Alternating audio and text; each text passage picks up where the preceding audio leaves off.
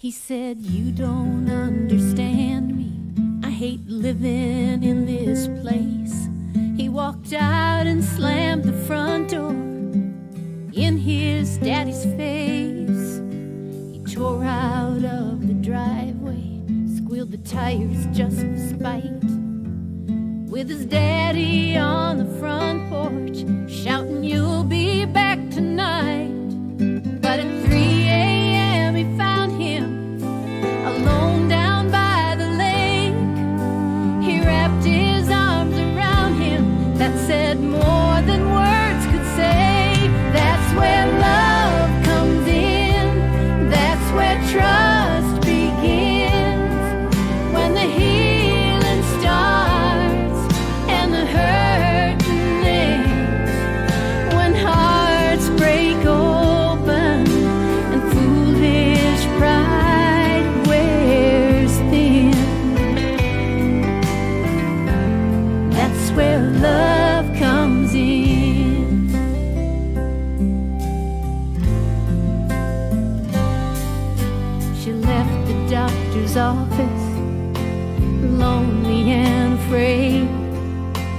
teenage girl in high school with new life on the way.